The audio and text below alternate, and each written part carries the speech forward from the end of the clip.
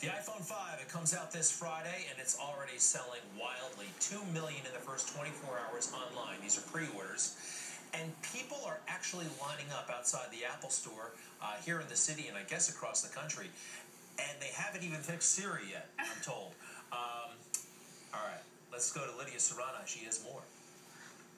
The iPhone 5 doesn't even come out for another five days, but here at the Fifth Avenue main Apple store in Manhattan, check this out. You've already got people about a dozen people with their sleeping bags, and they tell me that it's not all about the phone, it's about the experience.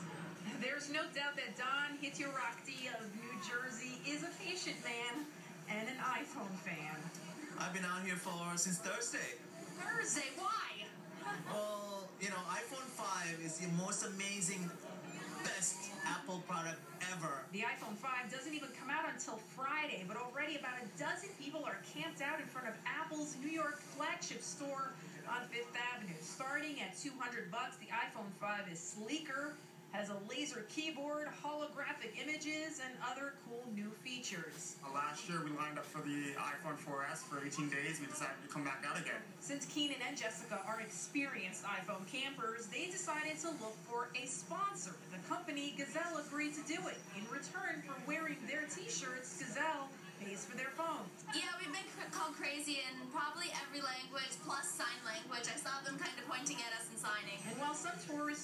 taking their pictures, others just shake their heads. I think it's ridiculous to wait a week for an iPhone. What would you want to sleep outside for like a week? Anything worth Some it? sneakers is Sneakers is worth it for you. worth it for iPhone like that.